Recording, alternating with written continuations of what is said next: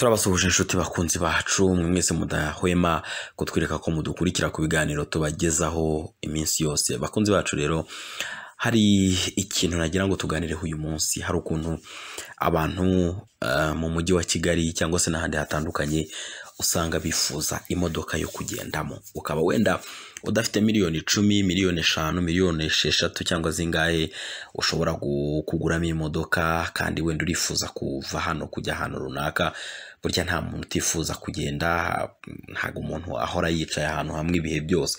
Hari igihe uba wifuza kuba wava hano ukajya i butare hari igihe uba wifuza kuva hano ukajya i rwamagana cyangwa se wenda ukaba ushaka mu by'ukuri kugira urugendo ukora hano mu mujyi wa kigali. Rero ukibaza utese nabigenza nte? Nabona imodoka gute? Ntayiguze ahubwo nyikodesheje. Ndetse ahubwo nkanayitangaho makeya. Kandi kuko urabona burya public transport cyangwa se amabisi atwarira abantu hamwe akenshi akunda abafite ahantu ahagurukira n'ahahagarara. Rero bikaba byatuma mu by'ukuri umuntu atagera ahantu yifuza neza ijana ku ijana. Ikindi cya kabiri abantu baba bakeneye kugenda mu modoka zabo. Donc kugenda mu modoka tuvuge ni wowe n'umuryango wawe cyangwa se n'inshuti zawe kugira ngo mwigire ahantu kwiganirira mujye se kwitemberera mujye se kugira ibyo imishinga mwigaho. Rero ni ngombwa ko umuntu agira imodoka burya yagendamo akagendamo n'inshuti ze bakava ahantu bakajya ahandi. Mu by'ukuri bitagoranye kuko biragoye ko watega bisi ikakuvana muri gare ikakugeza kuri hoteli. Ntabwo bishoboka. Bishoboka ikuvana muri gare ikakugeza mu yindi gare. Ikuvana muri gare ikakugeza ku cyapa runaka. Rero ariko iyo wakodesheje imodoka yawe urumva ko hari impamvu zo gukodesha imodoka yawe. Nimba ukeneye kujya kuri resitora iri ahantu runaka ukeneye kugira imodoka ihakugeza ikindi hari abantu baba badakeneye gutega za moto n'ibiki muzi?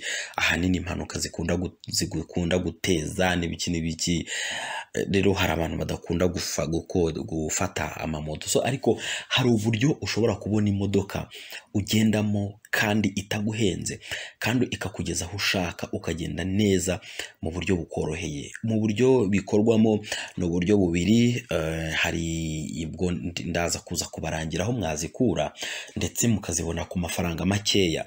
Hari uburyo bubiri bikorwamo. Hari uburyo bita self driving cyangwa se kugenda sans shoferi ni ukuvuga ngo ukaza bakaguha imodoka ya imodoka ukagenda ukava ukayivana aho ngaho ukitwara ukajya aho ushaka.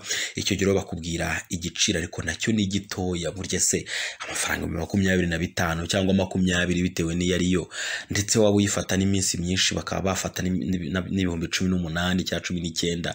Burya ntabwo ntabwo waba uhombye. Ikindi so ibyo rero byitwa self driving ni ukuvuga kwitwara. Ariko noneho hari ubundi buryo nanone bwo gukodesha imodoka aho bagutwara ushobora guhitamo ntugire ubwoba. Nimba utazi gutwara nshobora kukurangira iyo kampani ukagenda bakaguha imodoka bakaguha n'umushoferi akajya gutwara ahantu hose ushaka.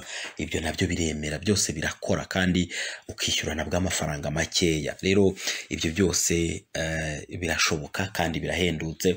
Hano mu mujyi wa kigali cyangwa se washaka kujya no hirya no hino mu ntara byose biremewe byose birashoboka. Rero bakunzi bacu mwe mwese mudukurikira ushobora gufata ubu butumwa ukabusangiza inshuti yawe ukabusangiza umuvandimwe ukeneye imodoka rero akazajya aza. Rero ni kampani yitwa swatase ikorera mu mujyi wa kigali munsi ya downtown.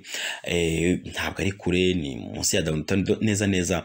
Uvuye ku muhima kuri apakope urazamuka wagera ku muhanda wa ruguru ukatujya kuri gereza cyangwa se ujya kuri statisitike etaje iri hafi aho ngaho mushobora no kuhasanga ibyapa bya BK insurance kuko muri iyo kampani naho batanga ubwishingizi bwa BK insurance. Nimba ufite imodoka ukaba ukeneye ubwishingizi si ngombwa kujya kure cyangwa ngo ujye hehe aho hafi burahari so rero aho ngaho urahasanga izo modoka z'ubwoko wifuza. Ushaka Hyundai Santa Fe ushaka voiture nziza urashaka se ubuhe bwoko? Urashaka se texel nziza y'umukara? Zose zirahari wowe nta kindi bigusaba uraza ukavugana nabo cyangwa se ushobora no kubahamagara kuri zeru karindwi umunani umunani makumyabiri na gatatu mirongo itanu mirongo ine n'umunani ndayisubiramo zeru karindwi umunani umunani makumyabiri na gatatu mirongo itanu mirongo ine n'umunani. Bakaguha imodoka ukaza bakaguha imodoka ukitwara cyangwa se bakaguha n'umushoferi bitewe n'uko ubyifuza kandi ukishyura amafaranga makeya. Mukavugana hanyuma aho ubuzima bugakomeza ukana ukaryoha. Imodoka nziza igenda neza ifite comfort. Ukagenda igihe cyose uyishakiye hanyuma n'iminsi ushaka kuyimarana byose mubigirana amasezerano. Hanyuma hanyuma imodoka ukagenda ukayikoresha uko wifuza. Rero utazavuga ngo wabuze aho ukodesha imodoka nziza kandi kuri makeya ku mafaranga yawe makeya ukitwara mu modoka nk'abandi basirimu bose. So turabakunda rero mugumane natwe ubutumwa wawe usangiza mugenzi wawe hanyuma ukajya uza ukifatira imodoka nawe na mugenzi we. Anyway nibagiwe kubabwira ushaka n'iz'ubukwe tuvuga ni uko wenda ubukwe muri iyi minsi buta ariko mu minsi izaza n'ubundi bizongera bikunde. Ukeneye iyi modoka y'ubukwe rero n'ubundi naho ziba zihari amatekiseri meza amavewiti meza dekapotable nziza mva kereka imodoka utakifuza ukaza nabwo bakaguha imodoka y'ubukwe mu by'ukuri wakoresha mu bukwe amakwasiteri yagutwarira abantu benshi ibyo byose birakunda. Rero ibintu byose rero wabyegerejwe nk'uko nabikubwiye urahamagara iyo nimero. Zeru karindwi umunani umunani makumyabiri na gatatu mirongo itanu mirongo ine n'umunani hanyuma ukabona imodoka uko wifuza. Turi kumwe rero turabakunda. Salamu shalom.